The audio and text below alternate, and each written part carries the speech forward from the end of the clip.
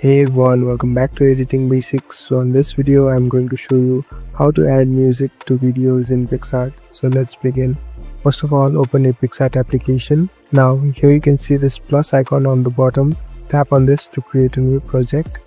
Here on the top, you can see this video section. Tap on this video section. Now select the video that you want to import or edit. Select the videos that you want to add music onto. Now tap on this next button so you're entered into our editing platform. So here on the bottom you can see the option of audio. Tap on audio. So now you can see the option of music. Tap on music.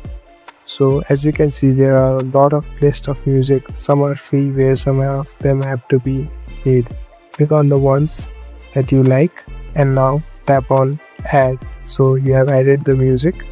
Now tap on the stick button on the top and now you can save it so this is how you add music onto any video in PicsArt. Thank you for watching. I hope this helps you.